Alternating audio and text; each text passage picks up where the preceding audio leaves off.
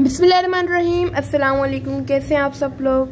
मैं उम्मीद करती हूँ आप लोग ठीक होंगे। अल्लाह पाक आपको हमेशा खुश रखे, हर तरह की तकलीफ़ों से दूर रखे, अपनी रहमतों के साय में रखे। आमीन सुमा आमीन। तो आज का व्लॉग मैं वहीं से कंटिन्यू करूँगी।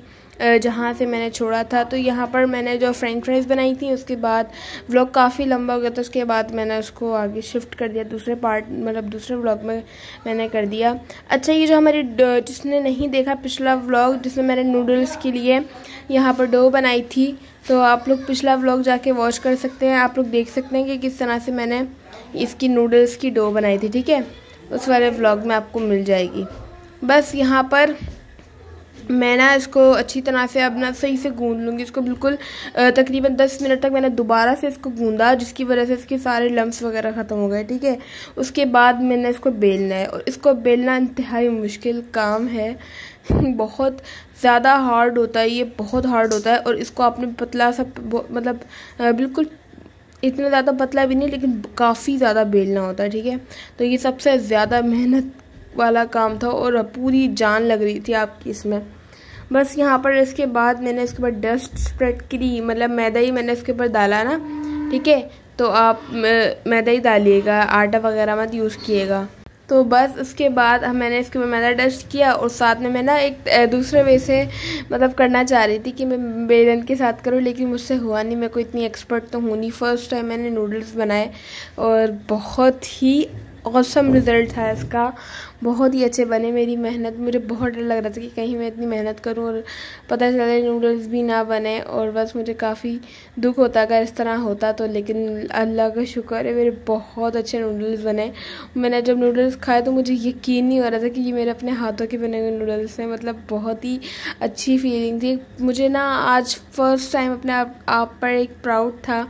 मतलब ना एक फ़र्स्ट टाइम प्राउड हुआ कि यार मतलब मैंने कैसे बना लिया मतलब ऑफ़ कोर्स माँ बाप की दुआएँ होती हैं, ज़ाहिर सी बात है, उसके बगैर तो नहीं बन सकती। पापा सब दुआ कर रहे थे, बन जाए मैंने कहा, पापा, दुआ करना।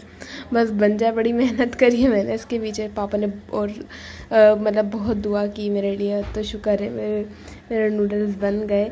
मैं इसके जो एक्स्ट्रा साइड्स हैं, वो काट रही हूँ। अच्छा मैंने इसको ना पतले पतले स्ट्रिप्स में काट लिया। ये सीन मैंने इसलिए कट कर दिया, क्योंकि बड़ी ही मैं पूरी आ रही थी इसको कटिंग करते हुए, इसलिए सही आपको नज़र भी नहीं आता, इसलिए मैंने वो सीन कट कर लिया। मुझसे इतने ज़्यादा पतले तो नूडल्स कटे नहीं, लेकिन बस मतलब सही कट गए। ना ज़्यादा मोटे कटे, ना ज़्यादा पतले, ठीक है? मुझसे ज़्यादा पतले नहीं हो पाए। फ़र्स्ट टाइम बनाए थे और मेरी नाइफ़ भी बहुत ज़्यादा ख़राब हो गई है। मुझे नाइफ़ भी चेंज करनी है, दूसरी लानी पड़ेगी और वैसे भी ख़राब हो गई है ये। अब दूसरी नाइफ़ आएगी, वैसे भी बकर ईद भी आने वाली है तो आएगी ही नाइफ़ दूसरी। मैंने इसको क्या करा, इसको साथ में चाय भी बनाई, क्योंकि आपको पता है कुछ भी कर रहे हो, लेकिन पापा को चाय लाजमी देनी पड़ती है, वरना पापा नाराज़ हो जाते हैं हमारे। इसलिए सबको देखना पड़ता है, इंसान को ना बड़ी मुश्किल में होता है, हर चीज़ देखनी पड़ती है, घर को भी देखना पड़ता है, साथ में ये चीज़, इसको व्लॉग्स को भी देखना पड़ता है, आप लोगों को भी करना पड़ता है। बस मैंने क्या करा, उसको ना मैंने अच्छी तरह से झाड़ दिया स्ट्रिप्स को, ताकि इसकी जो एक्स्ट्रा मैदा है ना वो निकल जाए। अब मैं इसको स्टोर कर लूँगी किसी भी जिपिंग बैग के अंदर आप लोग भी कर लिएगा ठीक है? इस तरह स्टोर कर सकते हैं। आप लोग जिपिंग बैग के अंदर मैं इसको फ्रीज़ कर लूँगी फ्रीज़र में रख दूँगी और जब भी मुझे बनाना होगा मैं निकालूँगी और आराम से बना लूँगी। तकरीबन तो एक महीने के लिए आपकी बिल्कुल ठीक रहेगी, कुछ भी नहीं होने वाला इसको, अगर ये फ्रीज़ रहेंगी, ठीक है? तो आपने क्या करना है? बस इनको निकालना है और इनको बॉईल करना है। अच्छा इसमें ना एक बात मुझे पता चली कि जो हमारे हमारे जो नॉर्मल नूडल होते हैं ना, वो बहुत बड़ी बड़ी जल्दी से वो हो जाते हैं कुक हो जाते हैं। बहुत जल्दी। इसको इसको पकने में थोड़ा ज़्यादा टाइम लगता है। इसको पकने में तकरीबन 10-15 मिनट आपको लग रहे हैं ना, लेकिन बहुत अच्छा टेस्ट था और बहुत बिल्कुल क्लीन बिल्कुल आपकी नज़रों के सामने बिल्कुल साफ़ सुथरे बने हुए, बिल्कुल मतलब ना भरोसा था कि बिल्कुल साफ़ हैं ये। तो बस मैंने इतनी मैं इतना थक गई थी उस वक्त, फिर मैंने को इतनी हिम्मत तो थी नहीं कि मैं इसकी स्पैगेटी या नूडल्स बनाती। बस मैंने क्या ना कैचअप मायो डाला साथ में प्याज ही मेरे पास दोपहर की कटी हुई रखी थी, जो चावल बनाए थे ना हमने, उसके साथ कटी हुई रखी थी मैंने प्याज डाली बाद में मैंने इसके अंदर ना फ्रेंड फ्राइज मसाला भी डाल दिया था। पहले तो नहीं डाला था, बाद में डाल दिया था मैंने इसके अंदर। बस अब यहाँ पर मैं इसको खाऊँगी, बहुत मज़े के लग रहे थे, ऐसे भी बहुत अच्छे लग रहे थे। ज़रूर ट्राई कीजिएगा इस रेसिपी को मेरी और जिस चीज़ को मेरा हार्ड वर्क मेरी मेहनत पसंद आई हो प्लीज़ वीडियो को लाइक कर दें। कमेंट में मुझे ज़रूर बताएगा कि आज की वीडियो आपको कैसी लगी।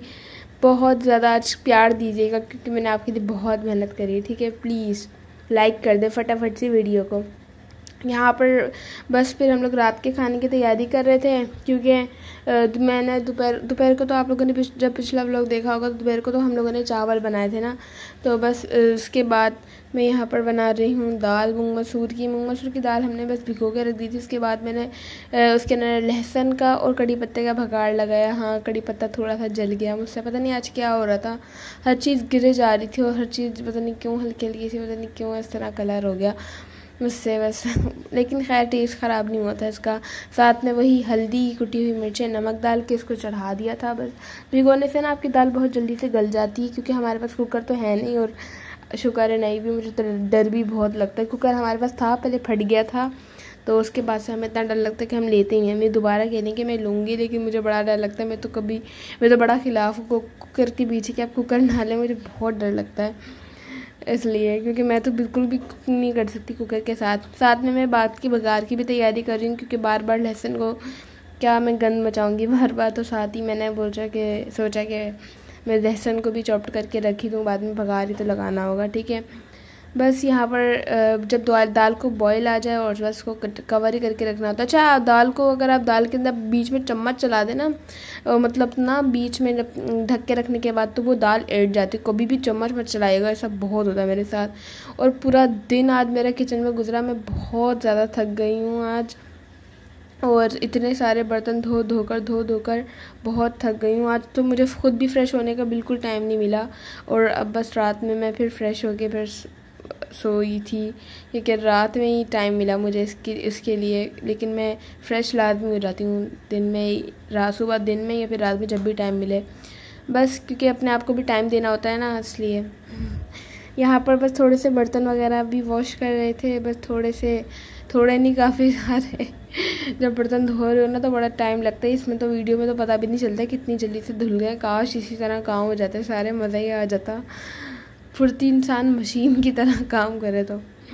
बस यहाँ पर सब इतने सारे मैंने अपने बर्तन गंदे किए। कौन कौन बताएँ? आज तो अम्मी भी नहीं थी ना हेल्प कराने वाली। आज सारा घर का काम किया और फिर इतनी सारी चीज़ें बनाई। पूरे सुबह दोपहर का खाना सब कुछ बनाया मैंने। बस ना बड़े मज़े के दिन थे कॉलेज के, मैं यही कहूँगी। जो लोग पढ़ रहे हैं, पढ़ते रहें, बरए मेहरबानी, पढ़ाई ना छोड़ें, और मैं भी बस फटाफट में मतलब एडमिशन लूँगी। अभी एम का एग्ज़ाम नहीं दे रही मैं, क्योंकि मुझे मेडिकल में एडमिशन लेना मैं इंग्लिश में मास्टर्स करूँगी, इसलिए मैं एम का एग्ज़ाम तो नहीं दूँगी। लेकिन जब मेरा एग्ज़ाम होगा तो वो तो काफ़ी लेट है। अभी तकरीबन तीन से चार महीने पड़े हैं उसमें, उस वाले एग्ज़ाम में। तो बस अभी मैं क्या करूँ? इतने दिनों घर के काम ही करने पड़ेंगे। खैर, घर के काम तो मैं पहले भी करती थी, लेकिन अब तो लिए यही करने पड़ेंगे। और बस देखते हैं कैसे गुजरते हैं दिन। साथ में भाई आइसक्रीम भी ले आया तो शुक्र है इतना थकने के बाद कुछ अच्छा मिला, कुछ मीठा मिला खाने को। बस शुक्र है, बस यही मैंने फिर इसके बाद में थोड़ी हैप्पी हो गई कि चलो खाने खाने के बाद आइसक्रीम तो मिलेगी खाने को। बस यहाँ पर मैं दाल को ना ये क्या घोट घोट की घोट की होती है शायद, पापा अभी घोट की ला के दी पापा ने कहा था कि दाल को इस तरह मैश किया करो, बहुत अच्छी दाल मैश हो जाती है इससे। क्योंकि मैं जो ब्लैक वाली दाल है, उसको भी मैश करती हूँ चम्मच से तो मुझसे बड़ी बहुत देर लग जाती है, तकरीबन एक घंटा। इससे तो दस मिनट में ही बहुत अच्छी सी दाल गल जाती है। बस यहाँ पर दाल की कंसिस्टेंसी कुछ थोड़ी ना ज़्यादा थिक नहीं रखी, क्योंकि साथ में बॉईल करने थे हमें चावल तो उससे ज़्यादा थिक नहीं रखी मैंने। यहाँ पर बस भगाड़ लगा लेंगे। मैंने इसके अंदर तकरीबन हाफ़ कप से भी कम ऑयल था, बहुत कम ऑयल था, क्योंकि मैंने पहले भी थोड़ा सा डाला था और बाद में मैंने कम ही डालना था, क्योंकि दाल के बखार में कम ही ऑयल डलता है। इसके बाद मैं यहाँ पर एक छोटी सी साइज़ की प्याज डालूँगी, क्योंकि मैं तीन टाइप का तड़का लगा रही हूँ, क्योंकि हमारे घर में किसी को क्या, किसी को क्या और किसी को किस तरह के तड़का पसंद है, मैं क्या करूँ, मजबूरी है मेरी। इसलिए मैंने तीनों टाइप का लगा दिया, भाई जिसको जो अच्छा लगे वही खाओ। और कोई जो बोलेगा, किसका लगाया, मैं उसको बोल दूँगी प्याज का, जो बोलेगा, लहसन का नहीं लगाया, मैं बोलूँगी हाँ हाँ लहसन का भी लगाया जो बोलेगा, ज़ीरे का नहीं लगाया, मैं कहूँगी ज़ीरे का भी लगाया है। तीनों टाइप के मैंने तड़के लगा दिए, बस मैंने प्याज, ज़ीरा, लहसुन और गोल वाली मिर्च, साथ में कड़ी पत्ता लीव थे, जो मुझे बहुत अच्छे लगते हैं। इसलिए मैंने, और मेरे पास पड़े हुए भी थे तो मैंने कहा, दाल ही दूँ, वैसे भी फ़ायदेमंद होते हैं। बस यहाँ पर चावल भी भिगो लूँगी। इस चावल के ना, ये है तो साइज़ में छोटा, लेकिन इतना टेस्टफुल होता है, बहुत मज़े का। बहुत अच्छा टेस्ट होता है, इसका चावल का बहुत अच्छा होता है। और ये ना दिखने में इतना छोटा होता है, बाद में पक्का इतना बड़ा हो जाता है, कोई पहचान भी नहीं पाएगा, ये टूटा हुआ चावल है। इतना अच्छा चावल है, ये तो बहुत अच्छा लगता है मलिका वाला राइस बहुत मज़े के बनते हैं टेस्टफुल बहुत होते हैं।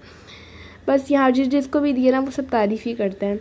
यहाँ पर बस ज़ीरे के बघार वाले चावल बनाएँगे, साथ में नमक डाल देंगे। जब चावल का पानी थोड़ा कम रह जाए, आधा कप जितना उसके बाद उसको कवर कर देंगे, तकरीबन दस मिनट के लिए। साथ में मैंने यहाँ पे प्याज और खीरा भी कट कर लिया था, ताकि थोड़ा दिमाग भी रिफ़्रेश हो रहा है। दाल के साथ ना अच्छी लगती है ऐसी फॉर्मेलिटीज़ करनी चाहिए दाल के साथ। अचार था नहीं हमारे पास तो वरना अचार भी होता। दही था हमारे पास हाँ दही फिर हम लोगों ने दही खाया।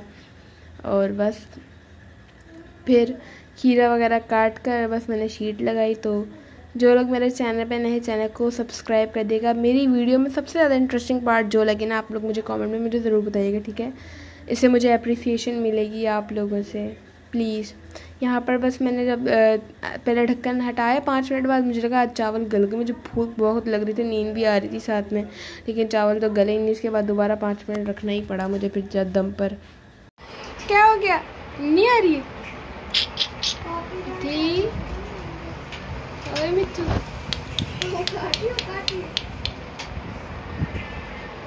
बस यहाँ पर मैं, मेरे अपने पैरट का भी हाल चाल पूछा। सुबह से उनका मतलब प्यार तो किया, लेकिन वीडियो में नहीं लिया ना मैंने, इसलिए मैंने बोला उनको भी दिखा दूँ वीडियो में।